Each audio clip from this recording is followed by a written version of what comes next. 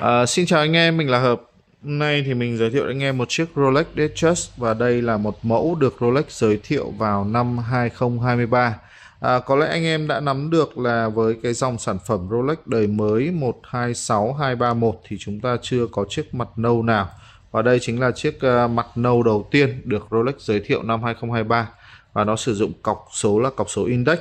À, như vậy thì với hiện tại với cái mặt nâu sun uh, sunburst này thì hiện tại chúng ta sẽ có hai sự lựa chọn. Đó là với size 36 mm thì các bạn sẽ có cọc dạng quang hay còn gọi là cọc index.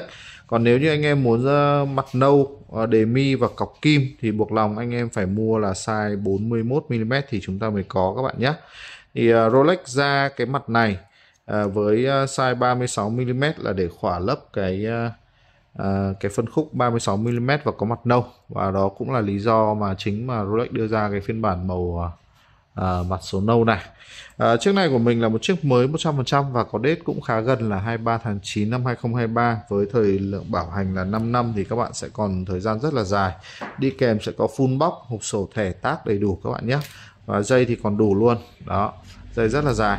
À, chiếc này thì à, nó sử dụng là size 36mm và với cái dòng này có cái mã là 126231 thì các bạn sẽ thấy nó sẽ có những cái chi tiết khác vào màu 16 ví dụ như là phần dây của chúng ta đã thay đổi kết cấu và nó chuốt được đẹp hơn phần càng cũng được làm gọn hơn và các bạn có thể thấy là cái độ bắt sáng của dòng 126 231 này phải nói rất tuyệt vời. Một điểm nữa là trên dòng sản phẩm 126231 này thì đã sử dụng bộ máy mới là 3235 với bộ máy này thì chúng ta sẽ có là 70 giờ tích cót đi kèm với đó là tần số 4 hẹp và 31 chân kính các bạn nhé. Các bạn có thể thấy là cái vẻ đẹp của dòng sản phẩm mặt nâu này nó sẽ vẫn luôn thu hút và nó cực kỳ hợp với cái màu vàng Rose Gold Ever Gold của Rolex này.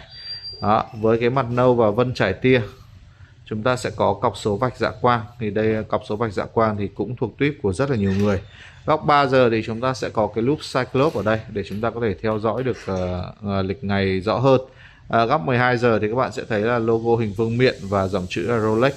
Cùng với đó là ở dưới à, góc 6 giờ thì chúng ta sẽ có ở đây là cái à, chuẩn chính xác của Rolex các bạn nhé. Về, phần khóa thì đây là một chiếc new cho nên khóa của nó còn nguyên siêu.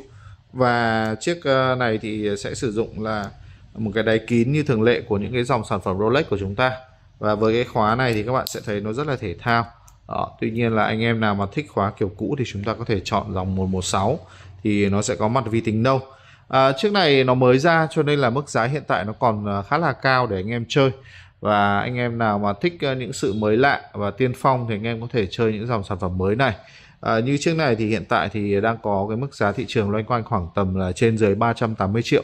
Thì anh em nào mà có nhu cầu về chiếc này thì có thể liên hệ bên mình theo thông tin bên dưới video nhé à, nhắc các bạn nhớ là với cái dòng sản phẩm 41mm mặt nâu và cọc kim thì bây giờ các bạn mua thì nó phải tầm 450 triệu cho nên là với một chiếc size 36 hiện tại là giá nó đang loanh quanh khoảng tầm 380 triệu với cái mặt nâu này. Đó. Cảm ơn em rất là nhiều đã theo dõi video và xin hẹn gặp lại trong video tiếp theo của chúng tôi. Xin chào và hẹn gặp lại anh em.